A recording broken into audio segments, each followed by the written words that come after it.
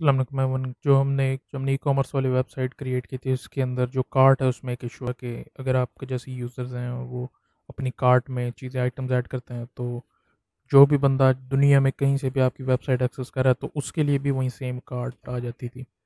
तो अब इसको करने का तरीका ये है कि जो हमने अरे पास की थी, यहाँ पे इंडेक्स के अंदर जो ये अरे क्रिएट हो रही है, यहाँ पे हमने कुछ ऐसा करना है कि ये अरे यूनिक हो, यानी कि जितने भी सेशंस आपके उसमें बने, वो सारे यूनिक होने चाहिए।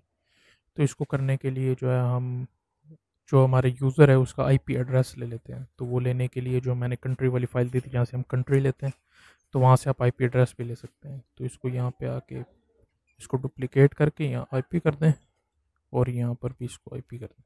ठीक है? बस इसको आप छोड़ दें, इसको बंद कर देना। अब आपने यहाँ पे आके एक और सेकंड आर्गूमेंट पास करना इसको यहाँ पे आपने दे देना है डॉलर आई आईपी हमारा ये वाला वेरिएबल जो है और ये यहाँ पे क्योंकि एडिट थी, ऊपर इंक्लूड कराई हुई है, इसी वजह से ये वाला यहाँ पे एक्सेसिबल है। ठीक है?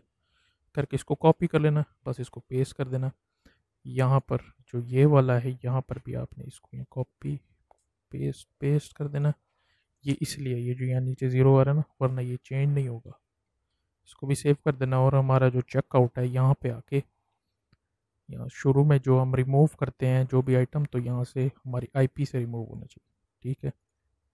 ओके सेव और ये हमारी कार्ड भी सेव यानी कि जब हम एम्प्टी करें तो हमारी ये वाली कार्ड एम्प्टी हो जानी चाहिए, जिसके साथ हमारी आईपी होगी। उसके अलावा कोई ना हो, अगर आप करेंगे तो डायरेक्ट जितनी भी आईपी एड्रेस वाली कार्ड्स हैं, यानी कि हमारे अलावा वो भी सारी एम्प्टी हो जाएँगी। कोई और दुनिया में यूज़र यूज़ कर आपने क्लिक किया एम्प्टी कार्ड के तो वो भी एम्प्टी हो जाएँगी।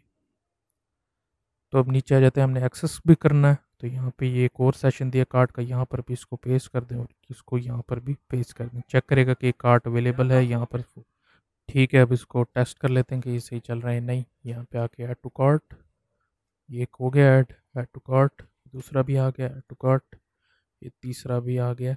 और अगर हम यहाँ पे कार्ट पे जाएँ क्लिक करके तो यहाँ पे आना स्टार्ट हो गया। यानी कि काम कर है, वैसे मैं इसको टेस्ट कर चुका हूँ, मैंने अपनी मोडाइम एक दफ़ा रीस्टार्ट की थी तो पहले आई और थी।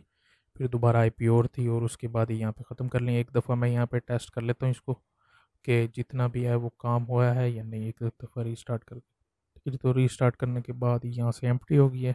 अब यहाँ पे आप जो भी करना चाहें वो कर सकते हैं। और एक कार्ट ऐड करेंगे। अब जितने भी यूज़र होंगे उसके आईपी एड्रेस के लिहाज से ये क्रिएट हुआ करेगा मशीन